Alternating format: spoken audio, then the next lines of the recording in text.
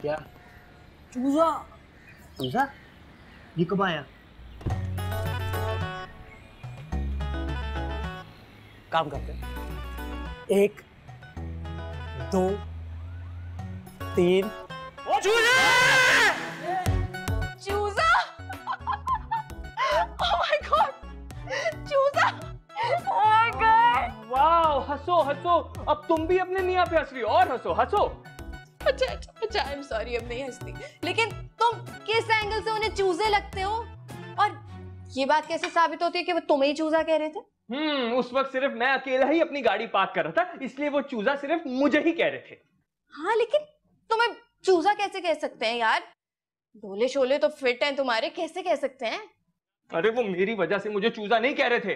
तो फिर? मैंने चौकीदार से पूछा उसने बताया कि सर पिछली बार जो कुर्बानी पे आपका बकरा आया था ना जो नादी हमने आपकी वजह से लिया था उसकी सेहत देख के सारे फ्लैट वालों ने मेरा नाम चूजा रख दिया। वो बकरा? वो तो इतना प्यारा सा था। और याद है पूरे साढ़े पाँच किलो गोश्त निकला था उसमें से। खैर तुम दिल पे ना लो बातों को। ये लोग तो ऐसी बातें करते रहते हैं दफ़ा करो। हमारी बला से। कोई बला से नहीं इस बार मैंने फैसला कर लिया नादिया हम लोग कुर्बानी पे ऊट लाएँगे। क्या? दिमाग तो खराब नहीं हो गया तुम्हारा? क्यों भाई इसमें दिमाग खराब होने वाली क्या बात है? इन्होंने मेरी इज़्ज़त को ललकारे और मेरी बीवी ऊँट लाएगी। ज़्यादा ना दिल पे ना लो और जरा हल्के आओ। हल्का हूँ।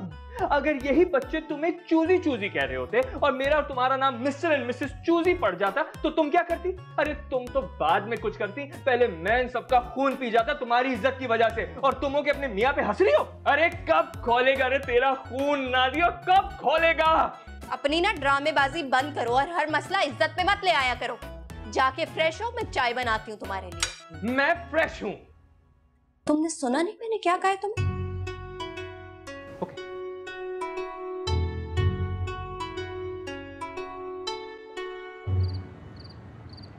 If you want to watch more and get updated, so follow AIY Digital's YouTube page.